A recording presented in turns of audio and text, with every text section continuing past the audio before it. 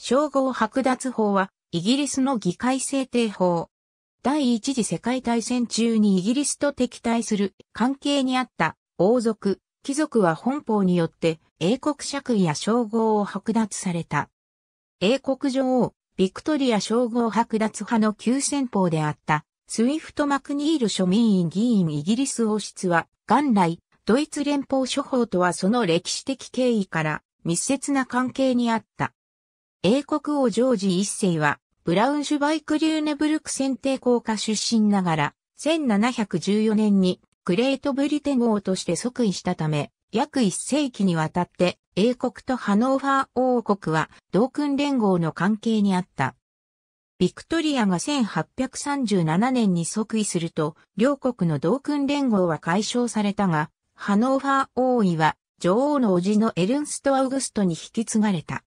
ただ、ビクトリア女王がザクセンコーブルグ豪竹出身のアルバートと結婚するなど、その後もイギリス王室とドイツ諸法との関係は続いた。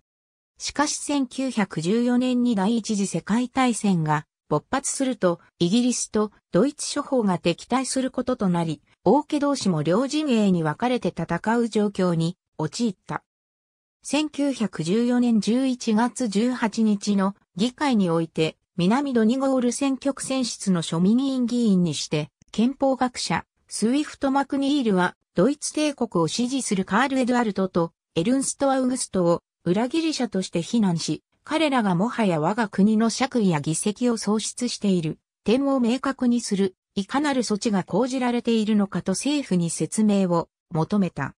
アスキスや公認のロイド・ジョージは爵位を剥奪することに抵抗したにもかかわらず、マクニールは1918年に議席を失うまで要求を続けた。マクニールが落選すると、南ハックニー選挙区選出のホレーシオ・ボトムリーが、その後を引き継いだ。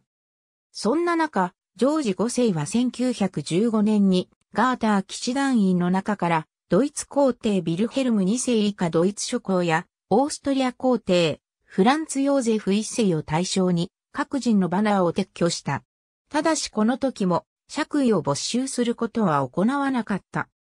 その後も高まり続ける、反独感情を考慮した結果、英国議会は1917年に勲章をはじめとする英典のみならず、英国と敵対する王侯貴族に対して、その称号や爵位の剥奪を認可する本法を可決するに至った。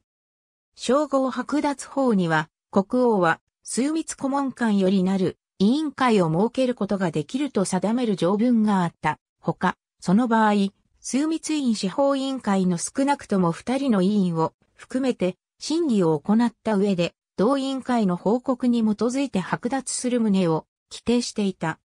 委員会は今般の戦争において、いかなる者が英国及び同盟国に敵対的であるか、あるいは国王陛下の敵を支持しているかに焦点を当て、該当する王侯貴族を報告する権限が与えられていた。報告は庶民、貴族領員の管理下に置かれ、領員が40日以内に報告不承認の動議を通過させなかったとしても、国王に報告書自体は提出されることになっていた。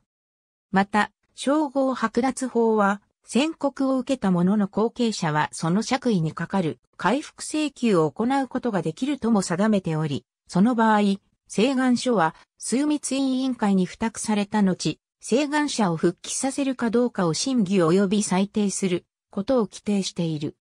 かつ、いかなる場合も、本法が所領、またはその他の財産を有する者並びに、その相続人に影響を与えることはないとも規定していた。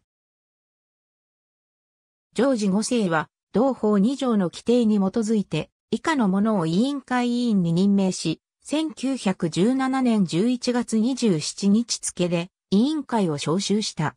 委員会は1918年8月1日に報告書を取りまとめ、両院に提出した。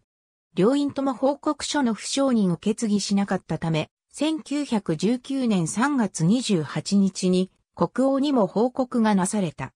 ジョージ5世は同日付で委員会報告書に記載されているものの剥奪を行うべく枢密院令を発した。